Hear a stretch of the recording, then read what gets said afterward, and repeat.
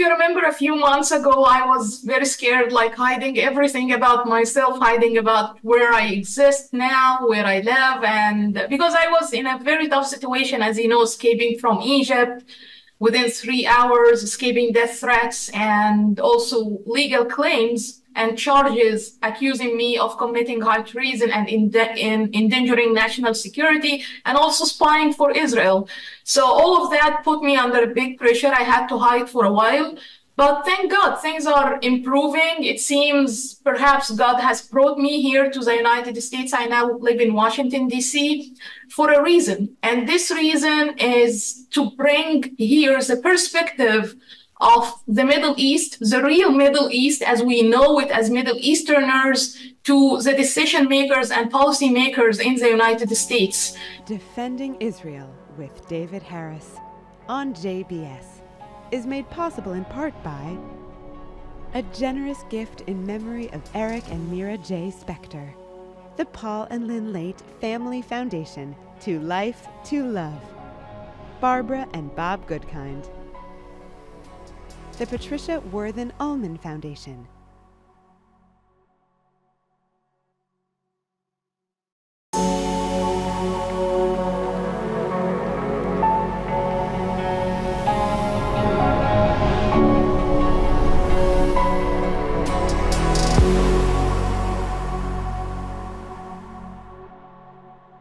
Hello, JBS viewers. I'm David Harris, and this is Defending Israel. Since October the 7th, we've had a, number of extraordinary guests, and some of you have asked for several of them to return.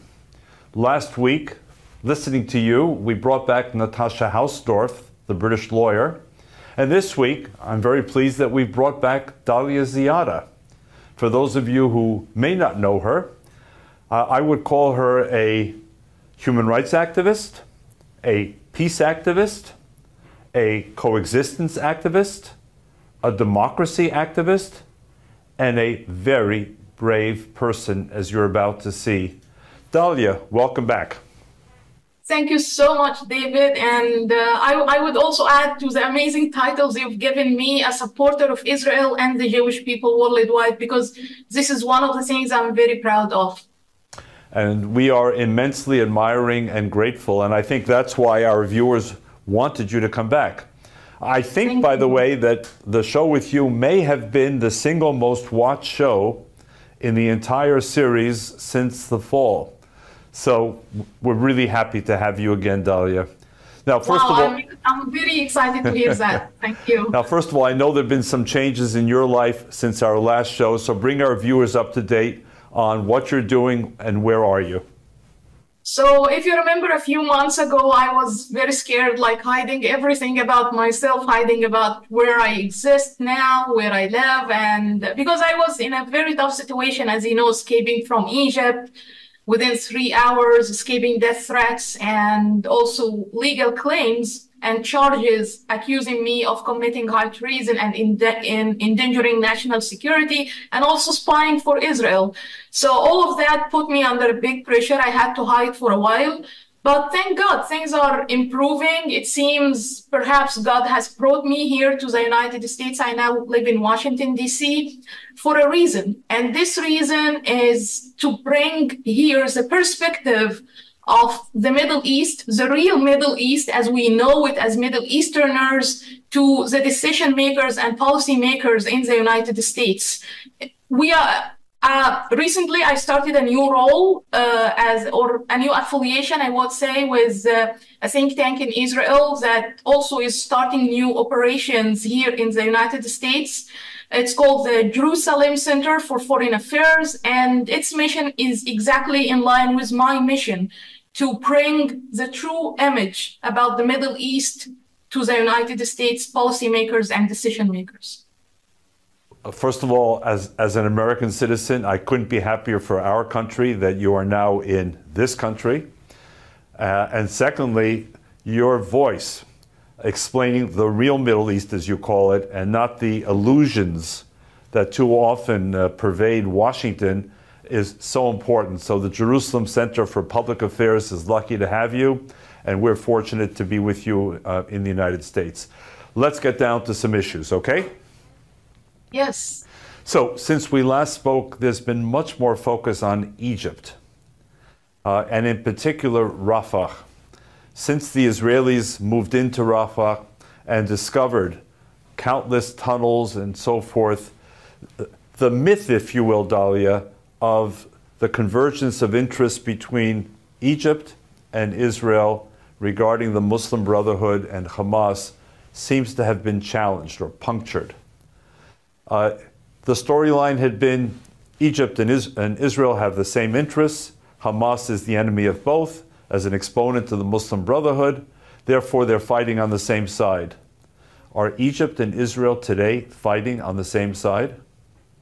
Uh, let me start by this. Unfortunately, right now, as we speak at this moment, no, Egypt and Israel are not fighting on the same side anymore, but they still face the same enemy.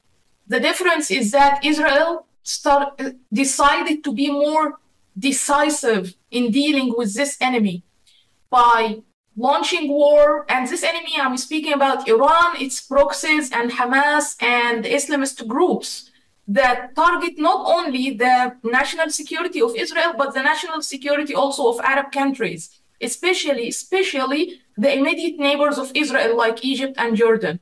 But the thing is that because Israel is a strong democratic country that fears, that does not fear its own people, that that I believe everyone knows exactly what they want to do. They all they all on one heart and one soul and one goal, I believe.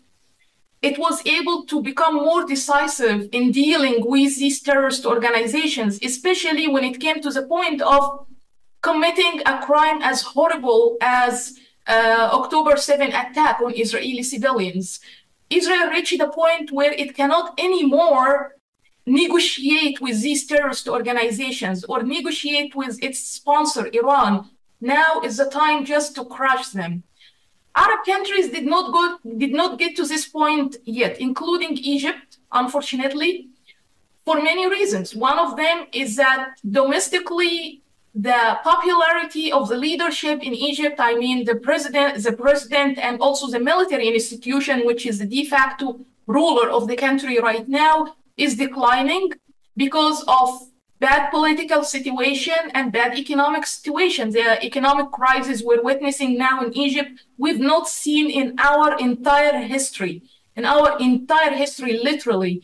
So with all this happening, the government or the leadership in Egypt could not afford the outrage that may come or may be doubled by the general public who at one on one side will be angry at the government because of its bad performance in politics and economy but also very sympathetic with Hamas and this rhetoric about you know Muslims against the Jews and the war uh, that Hamas is a resistance group and all this stuff. So to appease this pop, general public or to play for this domestic audience the Egyptian leadership had to show support to Hamas at the beginning of the war and all of a sudden cut off Israel as an ally and even refused and not even refused to support Israel in its war on Hamas.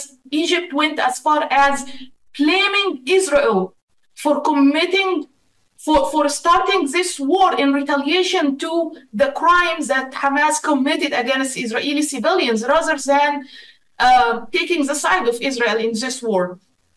So as a result of all of this, unfortunately, it's like a snow snowball.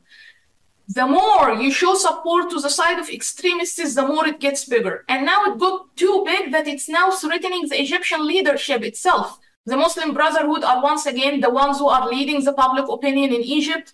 The extremist Salafist groups who are very similar to the jihadist groups like the Islamic Jihad in Gaza, um, uh, ISIS, Al Qaeda, and all these groups, these radical Islamist groups are now the ones who are controlling the public opinion in Egypt. And sooner or later, they will be a serious threat to the leadership in Egypt, which has already, re- which tried before to reject them and control them.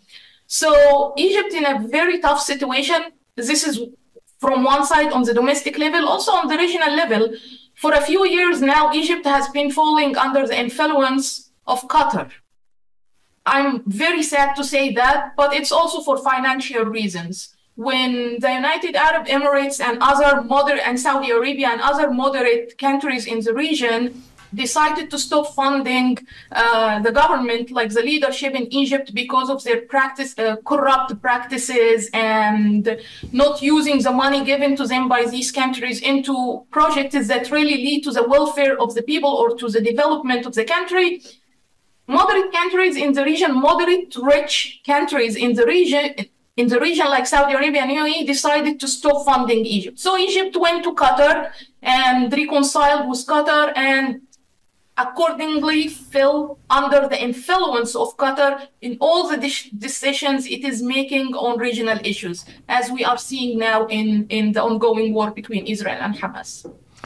Wow. Uh, and for JBS viewers, let's remember Qatar has come up more than once um, in this programming. Uh, it is a country whose leadership uh, has taken a spiritual oath, a bayah, to the Muslim Brotherhood. It is the same country that ISGAP, the Institute for the Study of Global Anti-Semitism and Policy, has been fingering for its support, direct and indirect, of American universities, American higher education. Uh, and it is the country that got caught in Brussels, having sought to influence through money a number of European uh, Parliament members. So this, this is a big story you're telling us here. And you might add, Dalia, and perhaps you'll say a word. Egypt has now joined the accusation of genocide that was initially launched by South Africa, uh, and Turkey uh, joined, and now Egypt has joined, formally accusing Israel of genocide, correct? That's correct. Unfortunately, Egypt recently joined the ICJ uh, accusations. That's the uh, International Court of Justice yes, uh, claims against Israel of committing genocide. Uh, although for for for any, I mean, for any average researcher, he can easily prove that this is not the case. But the fact that all these countries are packing these charges is is really something serious is an indication that something serious is happening uh, behind the closed doors. And i think the hands of qatar and iran are not far from this. If you look at all the countries that are supporting the claims starting from egypt turkey and even south africa which started these claims at, at the very beginning all of them qatar has huge investments in their economy. Qatar has a huge influence on them and I think somehow Qatar used this economic leverage on these countries to support uh, this claim without Qatar appearing in the picture, without Qatar appearing as someone who wants to bring troubles to Israel, but only appear as a mediator, as we are seeing now, which I think it's not serving anyone, anyone other than Hamas. So, uh, so this is this is what we're seeing now. And yeah qatar influence is very high. As you just mentioned david it's uh, not only on the middle east country countries qatar is also influencing the narrative about the middle east in western countries including in in big capitals in in the capital of the world the washington dc qatar is influencing how the middle east is viewed in in these uh, capitals in these Western capitals. So, Dalia, you are now in Washington, D.C., which means that you are a taxi ride or an Uber ride away from the White House. For argument's sake, the White House calls you and says, Dalia, you've brought new ideas to, to Washington. The president would like to meet with you.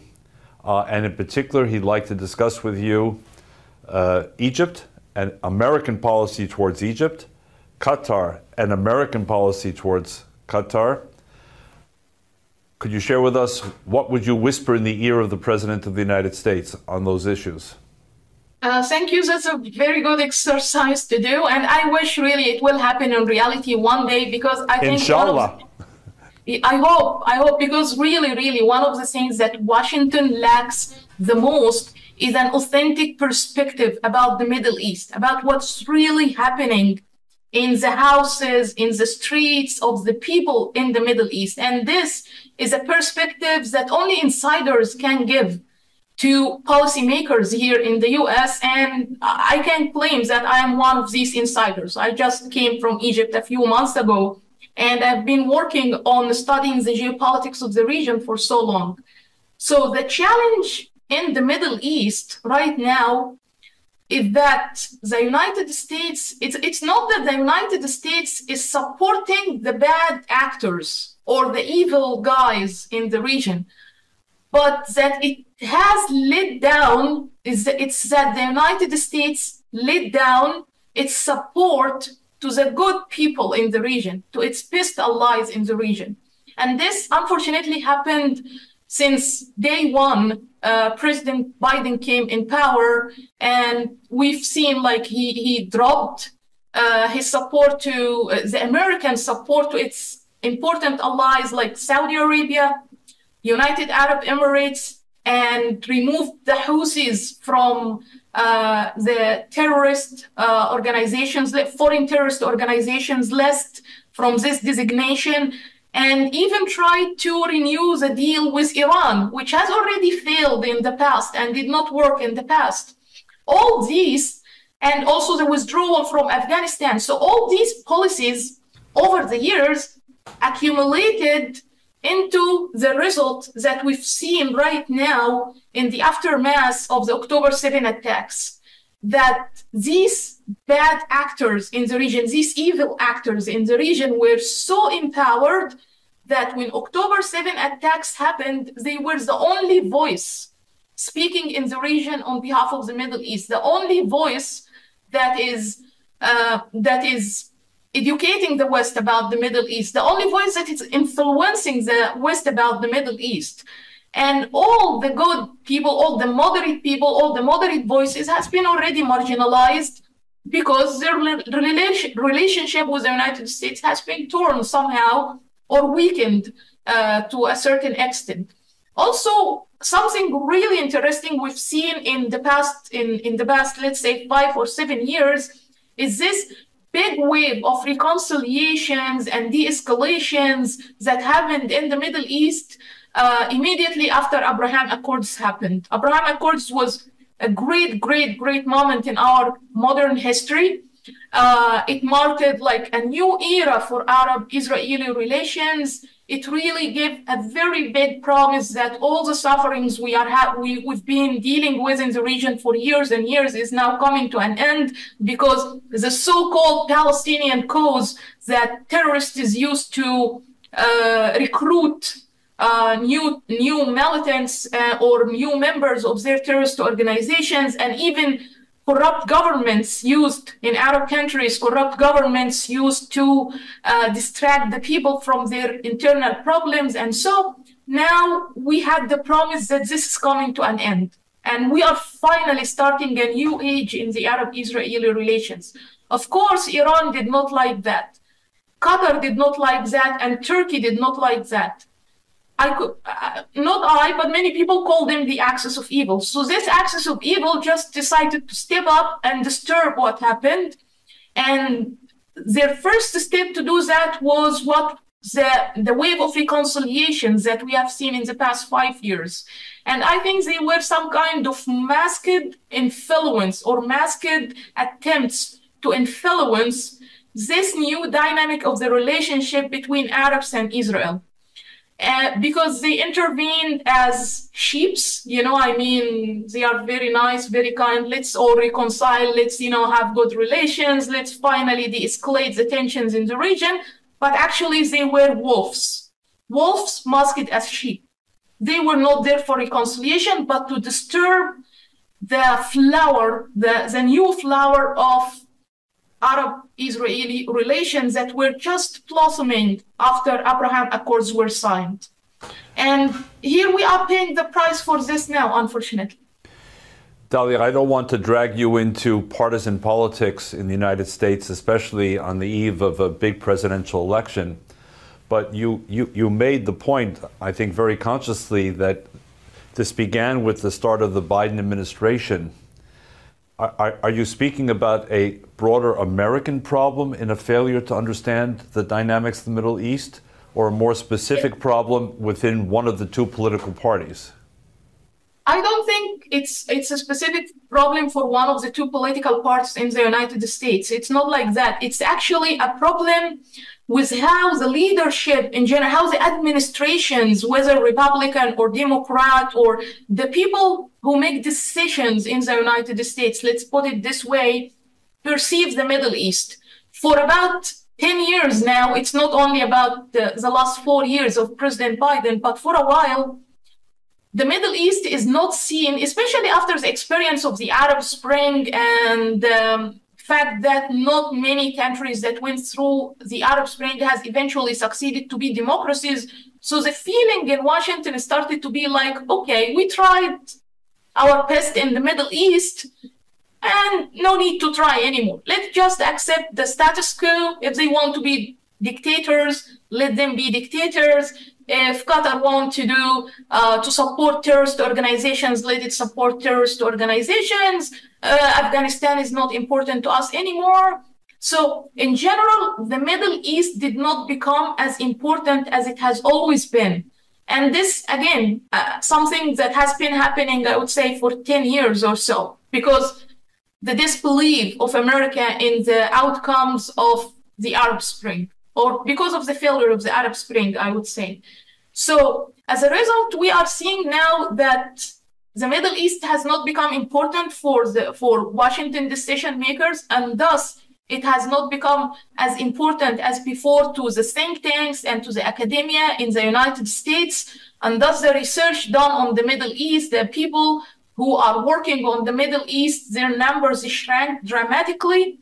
And then in 2014 and 2013, they were replaced by the waves of Islamist uh, scholars and non-scholars and academic, uh, academics and non-academics who came to the United States as refugees running from um, countries like Egypt and other Arab countries when they started to push the Muslim Brotherhood out of these countries. So they became now, these Muslim Brotherhood people are the so-called experts in most of the think tanks in, in Washington and in most of uh, academic institutions in the United States.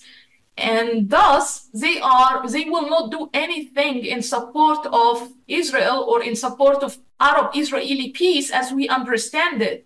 They will do everything that will serve their group, first of all, the Muslim Brotherhood, and all the Islamist affiliated groups in the region, like Hamas, which is also part of the Muslim Brotherhood. Uh, JBS viewers, what you just heard is quite extraordinary, and I hope JBS viewers include the White House, the State Department, the National Security Council, uh, both parties in the U.S. Congress, um, in the think tanks, because what, what Dalia is saying as clearly as can be is we have totally misread the Middle East. We also think we can begin to turn our back on the Middle East and focus elsewhere, including Asia. And we can somehow manage the status quo. And Dalia, if I'm understanding you correctly, none of those things are true. To the contrary, what's happening in the Middle East is contrary to fundamental American interests, geopolitical, uh, and values based. So, Dalia, Absolutely. your voice needs to be heard loud and clear in the halls of power in Washington. I want to turn in our remaining minutes to another very important issue, certainly for us, for me. There's always this notion, Dalia, that uh, in the Arab world, we're not anti Semitic. We never had a Holocaust in the Arab world, unlike Europe. We just have our problems with Israel. And if those problems were solved, everything else would go away. I was doing some work um, earlier today and I came upon the Pew research study. And Pew is one of the most respected names in survey research. It has no agenda or axe to grind. And they studied seven Muslim countries in 2019, the most recent survey I found. 98% of those surveyed in Egypt said they have a negative view not of Israel, but of Jews. In Jordan and Lebanon, the number was even higher, if you can imagine, higher than 98%. So, talk to us about anti Semitism and not just anti Israelism um, in the world that you know best? And then add for our viewers, I know we touched on it last time, but they may not have seen it. How did you end up in the other 2%? okay, wow, what a question. So let's start by the statistics. Yes, I think they are very true uh, to the reality that's happening on the ground there in the Arab world. Uh, one living proof that we've lived on this level of anti-Semitism in the Arab world and hatred toward the Jews in the Arab world is what we've seen in the aftermath of October 7 attacks. As horrific as the attacks were, raping women, killing children, burning people alive, burning houses, uh, kidnapping people. All of this was, I'm very sad to say, I'm very ashamed to say actually, was celebrated by Arabs and Muslims, was celebrated. They did not only disregard what happened or ignored what happened, they celebrated it. Why? Because it happened to Jewish people. It's true, like many people in, in the Arab world and the Muslim world, they say, we are also Semite. How can you accuse us of being anti-Semitic? There is nothing called anti-Semitism in the Arab world. Okay, maybe the term of anti-Semitism does not apply to Arabs and Muslims as a term, as a definition, but in reality, there is a huge amount of hatred toward Israel as a country, toward uh, the Jewish people as Jewish people, and toward this even those who, who, who say that they support Israel or the Jewish people. And I think the biggest proof on that is how Arabs celebrated the after the October 7 attacks, how they were so happy and publicly celebrating it on media, in streets, everywhere, just because it was committed against Jewish people. And that's the reason why they now support a terrorist organization like Hamas, a terrorist organization like Hezbollah, and a terrorist organization like the Houthis, simply because they are fighting the Jewish people. Unfortunately, this has deep roots in both Islamic and Arabic culture. In the Arabic culture, I think maybe many people read or knew that in ancient times, long before Islam appears, there were fights between the tribe from which Prophet Muhammad came and Islam started, and some other tribes uh, in, in the Hijaz uh, area, in the Hijaz region, which is now Saudi Arabia and the surrounding Gulf region, there were historical conflicts between the tribe where Prophet Muhammad has come from and Islam started, and the other tribes that were Jewish tribes and already existed there. And these conflicts were mainly economic and political conflicts. It's a fight over economic resources. It was not really something has to do with religion. When Islam came, it gave an Islamic uh, or a religious layer to this conflict between these Arab tribes and these Jewish tribes in the Hijaz area. Until today, in some of the protesters that are showing support to uh, to Hamas and the Free Palestine protesters. And so they use a very interesting slogan. They say, Khaybar, Khaybar, Ya Yahud, Jaish Muhammad, Sawfa Yahud. What this means, it means uh, it, it, they call upon a tribe, a Jewish tribe that was known at that time. It's called Khaybar, Khaybar tribe. So they are saying, hey, the Jewish people of Khaybar, Jaish Muhammad Sawfa Yahud means the army of Muhammad is coming back to kill you. So it, it shows you how much it is related what we are living today, this complexity of the conflict that we are seeing today, and how much it is rooted in, in our Arab and Islamic history. And actually, if you think about it, really, the conflict itself is, is not as big as we are seeing it. It's only a conflict over a piece of land, similar to many other conflicts in the region. But because of this Islamic and, and, and cultural layer, it got more and more complicated. I wish we had more time because you've really skimmed the surface of a hugely important issue that I think many people, again, including many Jews, totally misunderstand and underestimate. So we might have to invite you back once again, Dalia. But in the meantime, uh, JBS viewers, uh, we sometimes cheapen language these days.